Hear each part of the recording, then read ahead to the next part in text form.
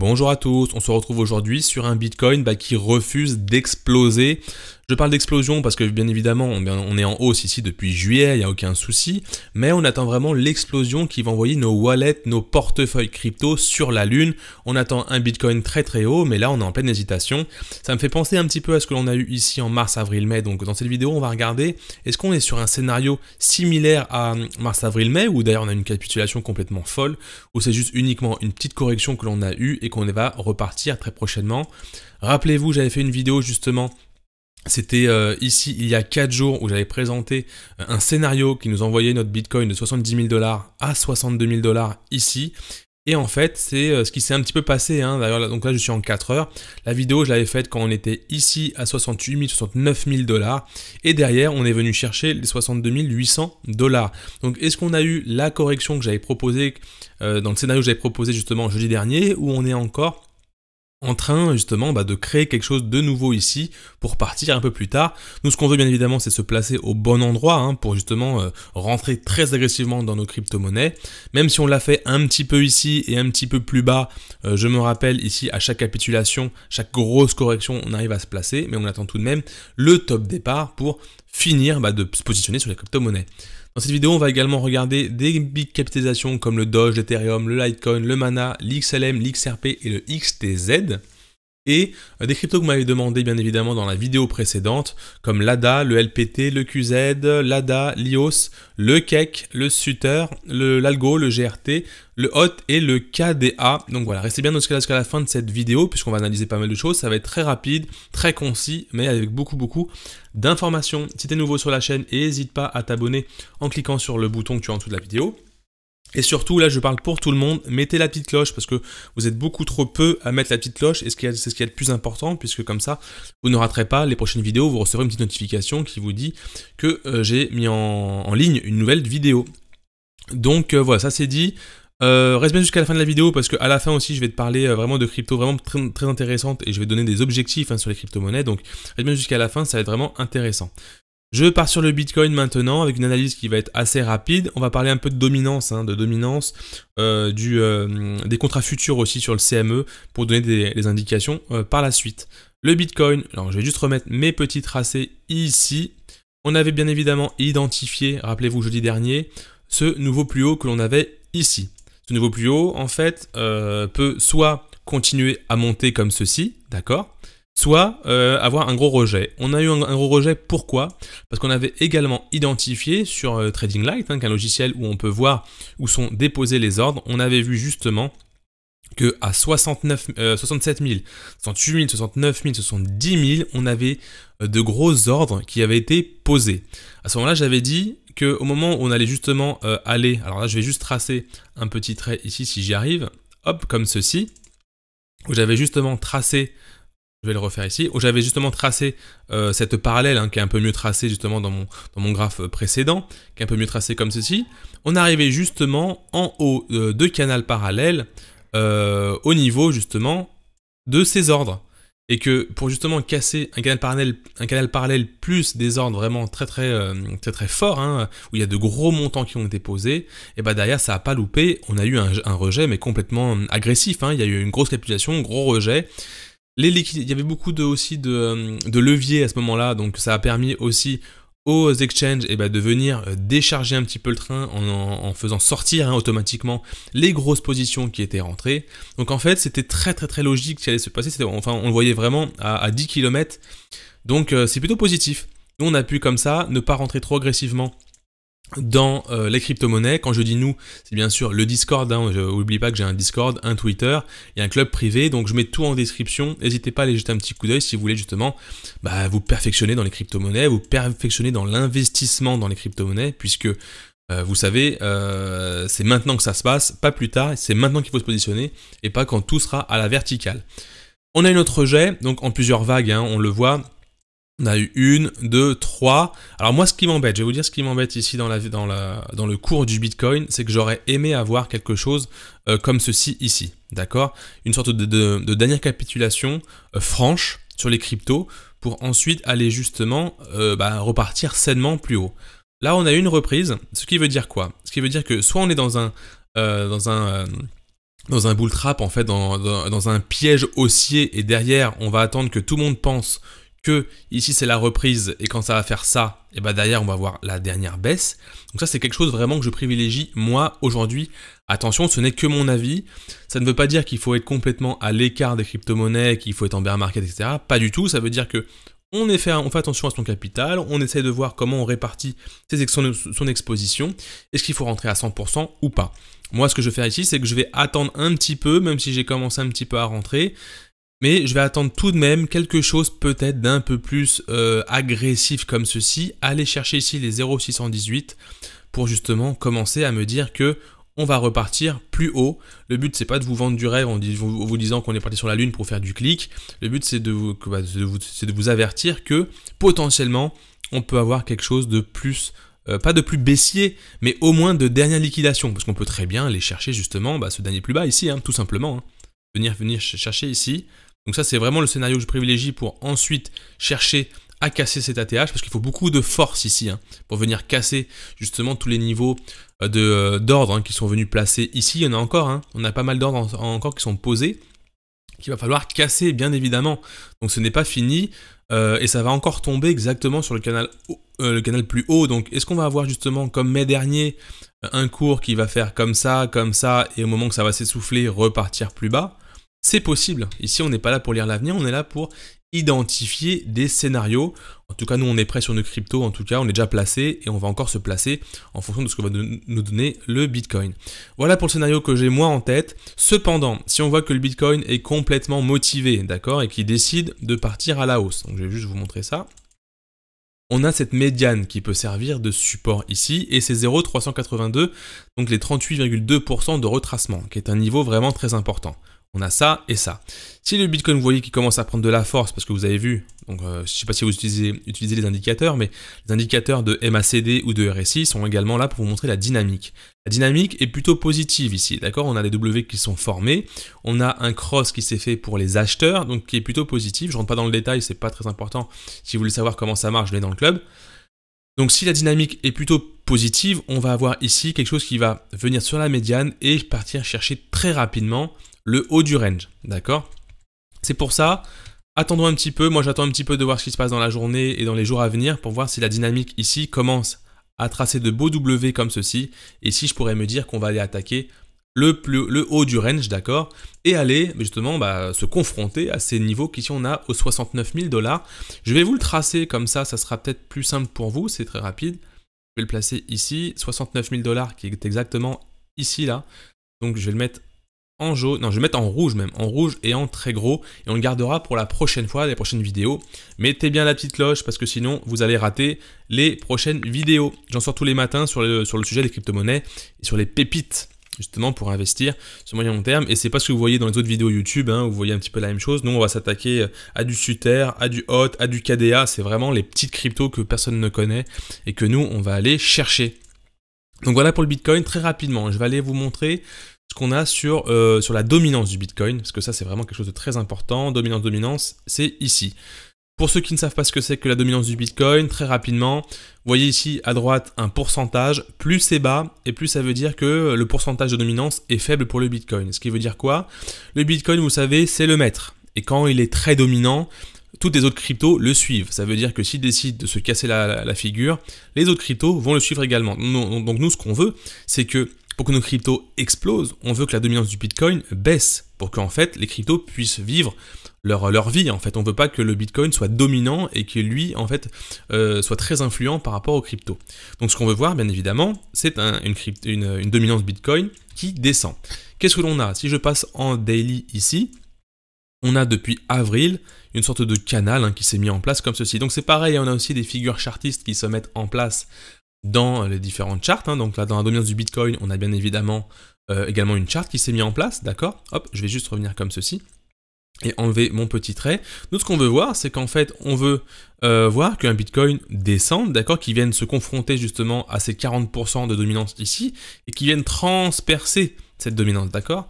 Là, on est en plein milieu. Donc on a encore, bah on a encore, euh, c'est encore indécis. Ça veut dire que le Bitcoin est encore en train de lui d'être dominant par rapport au reste, et on va continuer à regarder le Bitcoin avant de se focus sur les alts. C'est pour ça que les, vidéos que je fais commencent beaucoup par le Bitcoin, c'est parce que tant que le Bitcoin sera comme ça et qui sera fort en, dominance, ça ne va pas. Quand on cassera ces 38, ces 39% exactement, on pourra commencer à moins voir le Bitcoin et à se, à se focus complet et à rentrer très agressivement dans les altcoins.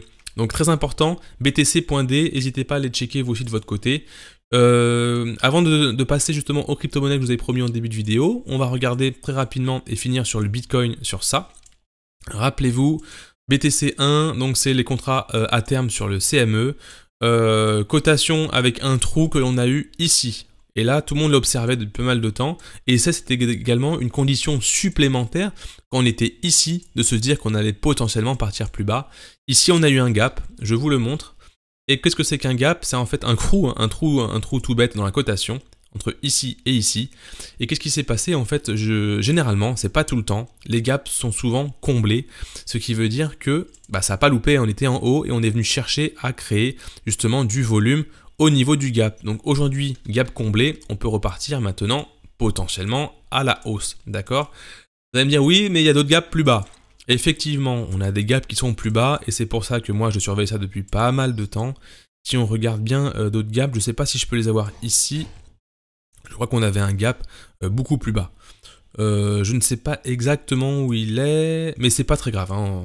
On, pourra aller, on pourra aller voir un, autre moment. Je me rappelle que si je descends en petite unité de temps, ils seront peut-être plus visibles.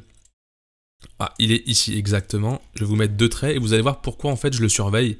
C'est parce que oui, on pense que le Bitcoin est parti à la hausse, mais regardez-moi ce gap magnifique ici. Donc si on part du principe que les gaps sont souvent comblés, donc on a réussi à combler euh, celui-ci aux 62 000 dollars, mais euh, je n'espère pas aller un jour combler justement ce, gap que l'on a ici aux 34 000 dollars. Ce serait un peu dramatique pour les crypto-monnaies. Voilà, j'en ai fini pour, euh, pour le Bitcoin. On va maintenant passer aux crypto-monnaies que je vous ai promis. Au niveau des big capitalisations, on va commencer d'abord par le Dogecoin. Le Dogecoin, j'avais mis une alerte ici, mais je vais la retirer parce qu'elle ne m'intéresse plus ici. Rapidement, le Dogecoin, très intéressant, hein, ça fait pas mal de temps. Un petit peu comme toutes les cryptos, hein, on est en train justement bah, de consolider ici. Et vous savez ce qui se passe à ce moment-là, hein, quand on a une contraction qui, euh, euh, qui, se résout, soit à la baisse, soit à la hausse, c'est très impulsif. Euh, les prochains niveaux sont à 0,085 dollars pour le, pour Doge. Fondamentalement, il est, euh, je pense qu'il est assez puissant puisqu'en fait il y a beaucoup de hype dessus. Tout le monde attend le top départ pour se charger et d'ailleurs tout le monde accumule. Je pense que le Doge a beaucoup de, potentiel pour ce prochain bull run. Donc euh, moi je valide hein, ce genre de, crypto, même si fondamentalement je le connais pas très bien, mais je le valide. Euh, je le valide sans aucun problème.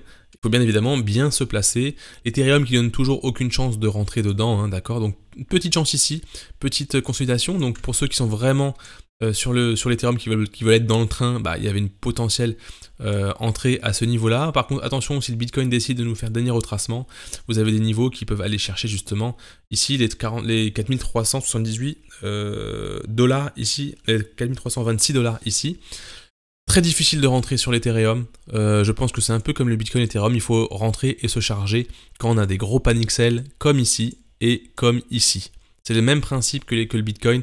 C'est une crypto qui s'accumule. Le trader, c'est très compliqué. Il donne pas de possibilité de rentrer. Dans ce genre de choses, c'est très compliqué de rentrer parce que vous allez rentrer là et derrière, ça va faire ça et vous allez vous prendre une grosse correction. Donc ça, on est plutôt sur de l'accumulation et attendre vraiment des gros panic sell. Ça, c'est que mon avis. Ensuite, si vous êtes vraiment pro Ethereum, euh, vous faites ce que vous voulez euh, de vos entrées. Litecoin, il m'a été demandé également, donc il faisait partie de mes, de mes big caps, mais il fait partie également des cryptos qu'on m'a demandé. Parce qu'en fait, je crois qu'il commençait un peu à tirer l'attention. Ah, il allait, ouais, au, moment où vous m'en parlez, c'est bah, trop tard en fait. C'est pour ça qu'en fait, il faut venir dans ce club que je propose. Le lien est en description. C'est parce qu'en fait, nous, on parle de ces cryptos quand elles sont ici en fait. D'accord? Ici ou ici. Là, en fait, quand on parlait en vidéo, c'est assez, c'est trop tard. Donc, quand vous mettez un message dans les commentaires, n'hésitez pas à me donner des cryptos qui sont justement en train bah, de, de, créer des choses plutôt propres, pas quand elles ont déjà explosé. Personnellement, c'est pas une crypto où je rentrerai. Si moi je rentre dans cette crypto, je rentrerai au maximum je vais vous donner le prix. Au maximum ici à allez, 200 dollars on va dire pour le, on seuil psychologique ou éventuellement j'attendrai un petit retracement ici d'accord? Donc je vais mettre hop ici ligne jaune je rentrerai plutôt ici, attendre un petit retracement pour chercher plus haut, même s'il a du méga potentiel euh, pour l'avenir, bah en fait il est parti et c'est trop tard. Le mana, bah vous savez ce que je veux dire sur le mana, hein, il est beaucoup trop, beaucoup trop haut, il est beaucoup trop à la verticale. Cependant, intéressant sur le mana, c'est que lui aussi, je pense qu'il faut l'accumuler sur du long terme.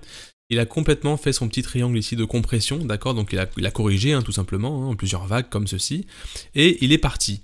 La bonne entrée sur le mana était ici. Il fallait rentrer à 2,66 dollars. Là, il est beaucoup trop haut. On n'est pas à l'abri de quelque chose encore comme ceci, d'un pullback sur justement sur ce niveau de cassure ligne de coup pour aller chercher plus haut. Donc les bonnes entrées c'est 2,6. Je trouve que moi c'est trop tard pour entrer ici. Sinon, bah en fait, attendez peut-être le dernier ici, hop, la ligne de coup, qui a, également fait euh, ligne de coup, enfin qui a également été très, euh, très fort ici à 3,5, je pense que c'est un niveau qui euh, en fait est très rejeté par les, par les vendeurs. Si vous clôturez au-dessus, je pense qu'il y a quelque chose à faire. Voilà. Pour le mana, intéressant de, clôturer au-dessus des 3,58 dollars. Et je pense que si le mana commence à partir, eh bien je pense qu'il va carrément aller chercher euh, potentiellement les 6, 7, 8 dollars, même pourquoi pas les 10 dollars, hein, qui peut être vraiment euh, un seuil psychologique important. Rappelez-vous, de toute façon, vous allez me dire oui, mais comment je sais ça? Bah, Quand vous regardez ici un mana qui passe, euh, qui fait ici un 477%, que je vous dise que ça aille 10 dollars, bah franchement c'est rien en fait par rapport à ce qu'il sait déjà faire et par rapport à l'impulsion qu'il peut avoir. Le XLM, on en parle pas mal en ce moment, bah, parce qu'en fait, euh, il se réveille, et en plus, il est très propre, le XLM. Donc ça, c'est une crypto où je peux dire que vraiment, euh, il est intéressante par rapport aux autres que, je vous ai présenté juste avant. Ça, c'est quelque chose que je pourrais, moi, euh, vraiment, vraiment prendre, hein, parce que pourquoi? Certes, il n'est pas dans une certaine zone qui m'intéresse, mais en fait, les niveaux ont été vachement maintenus ici, ici, et en fait, s'il y a clôture au-dessus de, de, de coup, je pense qu'une entrée pourrait être vraiment très intéressante, surtout qu'il y a un ATH qui est ici à 0,93 dollars et qui peut aller l'exploser euh, littéralement et aller chercher beaucoup plus haut. XLM c'est vraiment un vieux, un vieux de la vieille, euh, il est vraiment, on le connaît vraiment tous et je pense que s'il y a de l'euphorie sur le XLM, il peut vraiment aller euh, pousser très fortement. L'XTZ, on attend pas mal d'informations de la SEC puisque apparemment j'ai eu un commentaire comme quoi et merci pour cette personne qui donne des informations sur les cryptos. Il y a 10 000 cryptos à regarder, je ne peux pas tout regarder en même temps. Donc si vous avez des informations à me communiquer en commentaire, et n'hésitez pas sur n'importe quelle crypto, c'est très intéressant. Ça me permet en fait bah, d'échanger la communauté et qu'on puisse tous échanger là-dessus. Et du coup ici, euh, bah, on attend euh, confirmation du triangle. Ici, un très joli triangle que l'on a. Franchement, l'XRP, si ça explose, vous savez, tout l'engouement qu'il y a derrière l'XRP, c'est un peu les, c'est un peu une série, euh, une série télévisée. Donc je pense qu'il peut c'est aller exploser les 5 dollars et aller chercher les 10 dollars très très très facilement. Là, je pense que, ça peut vraiment aller plus haut. Je mets pas les euh, mets pas les, euh, fibos d'extension parce que sinon vous allez vous focaliser sur ce genre de choses et je pense que c'est pas pas le but. Bien évidemment, je tiens à dire que toutes les crypto-monnaies vont exploser si y a euh, une reprise du Bitcoin. Le but c'est pas de savoir si ça va exploser ou non. Vos cryptos vont exploser. Le but c'est de savoir sur quelle crypto-monnaie investir pour le faire un fois 500 au lieu d'un fois, enfin d'un fois, euh, d'un 500% au lieu d'un, au lieu d'un 100%. Vous voyez ce que je veux dire? Le but, c'est pas de savoir si oui ou non elle va monter, parce qu'elle va forcément monter. Mais le but, c'est quoi? C'est de choper les cryptos qui ont le plus de chances d'avoir des accélérations fortes. Et c'est là tout l'enjeu, et c'est là tout le but euh, des analyses que l'on fait. Parce que oui, votre crypto, l'XTZ, il va faire ça, mais entre faire quelque chose comme ça, où ça va prendre un an à monter, et quelque chose qui va accélérer fortement comme ceci et faire un fois 10, c'est là la subtilité. Donc nous ce qu'on cherche, c'est bien évidemment, c'est les x10. L'XTZ, également, il a perdu pas mal de place au niveau de la code market cap. Si je vais ici sur, le, sur les cryptos, je crois que le l'XTZ, il est parti assez loin. Euh, je pense que les gens, on va, je pense qu'on va en parler de moins en moins. L'XTZ, il est 43e, il a perdu énormément de place. Il est plus trop impulsif, mais je pense que le fait que justement qu'il baisse comme ça en, intérêt peut donner justement une porte de sortie. Attention, l'XTZ fait que de descendre comme ça. Est-ce qu'il est en train de faire un petit... Euh, il est tout juste en train de poser peut-être son bottom? Peut-être attendre justement qu'on ait bah, une sorte de consolidation, une sorte de, de, schéma de retournement, d'accord? Et je pense que personnellement que l'XTZ, il y a pas mal de news sur l'XTZ, il faudrait qu'on regarde de plus près ça. Pas mal d'informations assez intéressantes sur l'XTZ. Et euh, justement, alors là, on peut également, c'est un peu comme l'XRP, hein, je pense que quand il y a la hype qui va arriver, et comme ce sont des, crypto-monnaies qui sont là depuis très longtemps, euh, les et qu'ils font partie des grosses caps, je pense qu'elles peuvent vraiment accélérer fortement. On analysera ça un peu plus près euh, dans les quelques temps quand justement il aura lui posé son bottom parce que là, pour le moment, on n'est pas à l'abri justement d'une capitulation côté XTZ et bah, de faire en sorte que ça continue à descendre. Donc XTZ, pas pour le moment, on fait attention. Je passe maintenant au crypto. Bah, qu'on m'a demandé sur YouTube, hein. donc n'hésite pas toi non plus à aller en commentaire et me dire exactement ce que tu veux que j'analyse, et à suivre la chaîne, je continue à le dire, très important de s'abonner.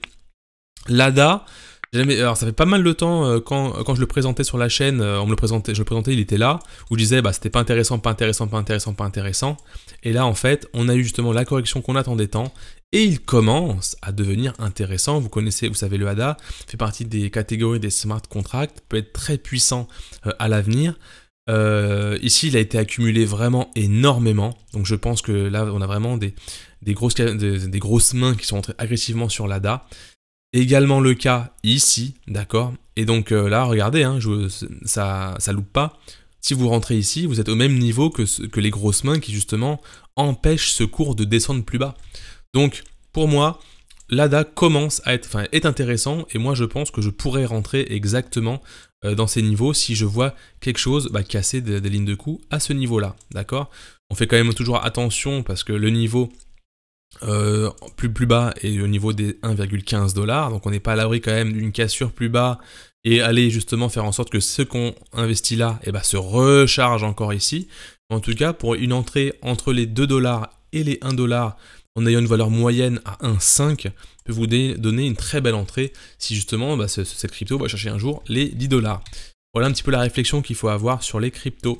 LPT, euh, beaucoup trop haut, euh, désolé, bon il est en train de faire son petit triangle, c'est pas impossible qu'il fasse ça, d'accord, par la suite. Et moi je ne rentrerai pas, je préférerais attendre justement un niveau à aller chercher ici vers les 44 dollars, ce serait plus intéressant pour moi. EQZ, très intéressant d'ailleurs, je l'avais vu euh, analyser techniquement et fondamentalement, je l'avais un peu analysé.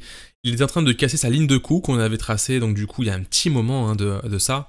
Euh, bah, il continue à casser justement euh, bah, son, plus haut euh, fait hein, depuis ici, depuis en août.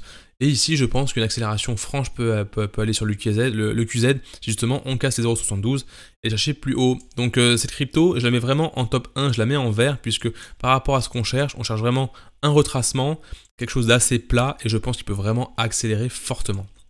L'ADA, j'ai analysé, donc je vais le retirer. L'IOS, Personne n'en parle, régime super plat.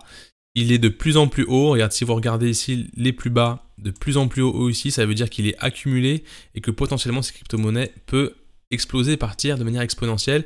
Moins les gens en parleront et mieux ce sera. Donc Léo, j'en ai parlé, parlé exprès pour ça, c'est que personne n'en parle. Il a déjà fait euh, pas mal, il a eu pas mal de, beaux jours Léo. Il a vraiment eu de, de tests de pump vraiment intéressants. Et je pense que si le Bitcoin maintenant décide de partir, qu'il peut aller exploser tous ces anciens niveaux, justement, qu'il a, qu'il allé chercher auparavant. Également, IO, je le mets en vert, il, me plaît pas mal. Le cake, bah le cake, il a encore pas fait grand chose, même s'il est allé chercher ici les 47 dollars. Euh, L'ATH est assez haut, hein, donc potentiellement, euh, je pense qu'il va aller le chercher un jour. Quand, je ne sais pas. Mais, euh, voilà, le, le cake très intéressant. Euh, mais je pense qu'il va, voilà, il va prendre un petit peu plus de temps. Hein. Je pense qu'il va prendre un peu plus de temps. Mais une bonne entrée serait à la cassure de ce fameux triangle. Donc n'hésitez pas vous également à tracer vos triangles comme ceci et aller chercher comme ça euh, bah, des entrées le plus proche possible de ce, justement de, ce haut de canal, de cette haute ligne de tendance, pardon, que vous pouvez également tracer comme ceci. Hop, et hop, je vais retirer mon trait que j'ai juste au-dessus. Voilà, donc euh, quand vous voyez une crypto, un, un cake qui commence à justement faire des petits W et casser cette ligne de tendance et faire comme ceci, les entrées seraient intéressantes. S'il fait comme ça du jour au lendemain, c'est un peu plus risqué parce que vous, vous risquez derrière justement le gros retracement et d'aller continuer comme ça plus bas. Donc voilà, c'est vraiment la petite alerte que je peux vous mettre sur le cake. Le Suter, le Suter, bah, plutôt sympa, il a tenté des plusieurs pumps comme ceci, mais il a été un petit peu, euh, un petit peu euh, euh, corrigé, enfin il y a une grosse correction sur le Suter. Fondamentalement, je sais pas ce qu'il donne, mais, je, il me parle, alors du coup, je pense qu'il faudrait la regarder, mais je pense qu'il est assez intéressant. Soit techniquement, qu'est-ce que ça donne? Bah, Ça donne euh, en fait des, lignes de coups qui sont en train d'être franchies, hein, tout simplement, et que si on arrive à, s'en affranchir et à clôturer au-dessus de ce gros niveau ici, là, à 0,0083 pour le coup, et eh ben on aurait quelque chose d'assez d'assez puissant. Le Sutter également fait partie des cryptos qui peuvent être également intéressants puisque à plat, la volatilité plutôt basse, et un ATH à aller chercher à 0,02 qui peut donner un potentiel ici assez intéressant et même aller chercher beaucoup plus haut avec une stratégie bien évidemment de prise de profit. Hein. donc ça c'est aussi euh, ça qu'il faut prendre en compte, c'est comment rentrer et comment sortir, c'est ce qui est le plus important. Algo, euh, bah, Algo il suit son petit chemin.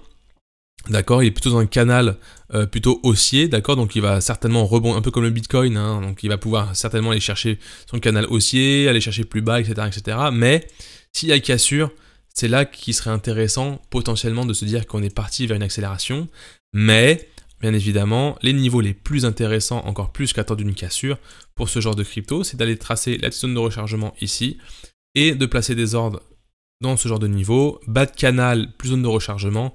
Moi, je suis friand de ce genre de choses. On l'a eu sur l'UOS. Je vous montrer rapidement parce que l'UOS, il a fait exactement ce genre de choses. Je vous l'avais présenté euh, euh, à ce moment-là, l'UOS, quand on était à 0,52 dollars. D'accord? Pourquoi? Bah, Parce que euh, bas de canal plus zone de rechargement.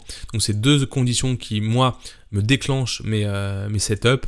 Et derrière, on a fait quoi? On a fait ici un 123%. Donc euh, exactement le même cas pour, je vais revenir sur mon algo ici. Donc au minimum, j'attendrai un retracement parce que là, on est quasiment en, haut de canal et moi, j'aurais peur justement d'aller chercher ensuite, boum, un gros retracement derrière pour l'algo. Le GRT, The Graph, pareil qu'un petit peu que, euh, je crois que c'est le Suter qu'on a vu tout à l'heure, euh, bah c'est très bien, il fait son petit W comme ceci. Il est en pleine cassure ici, donc euh, on attend ici 1,08 dollars, l'explosion pour aller chercher son haut de range et potentiellement aller chercher plus haut. Attention, il peut faire ça, être rejeté et continuer hein, ici. Donc il ne faut pas non plus rentrer dès que je vous dis que c'est intéressant parce que ça casse.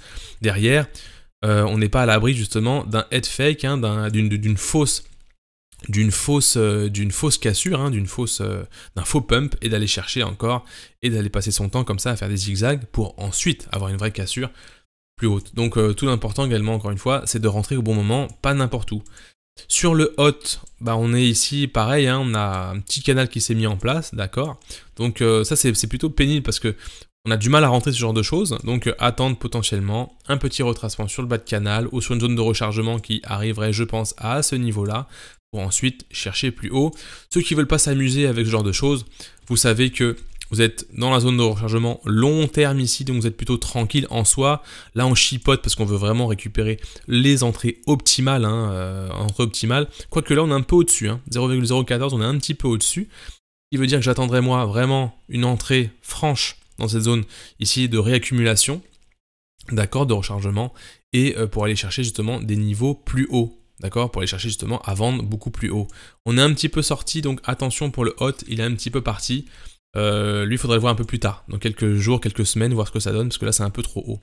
Et le KDA, alors ça, je, vous ai dit que j'allais l'analyser, mais je vais le laisser pour euh, demain, puisque demain, je fais une analyse complète de l'écosystème Atom puisque vous avez été nombreux à me solliciter et à me... Et en fait j'ai fait un sondage hein, et vous avez été nombreux à justement voter pour l'écosystème Atom. J'avais demandé justement quel écosystème avec toutes ces cryptos vous voulez que j'analyse mardi prochain, donc c'est demain.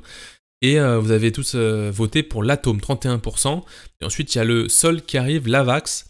Et, le Chromia qu'on verra un petit peu après. Et dans les commentaires, vous m'avez même demandé d'autres écosystèmes comme le Harmony que je vais euh, également analyser. Donc demain c'est Atom et KDA je crois que fait du parti justement euh, de l'écosystème Atom et comme ça je rentrerai en profondeur sur euh, l'écosystème, enfin l'écosystème, l'écosystème justement euh, Atom et justement voir cette crypto euh, KDA qui nous réserve vraiment de grosses surprises.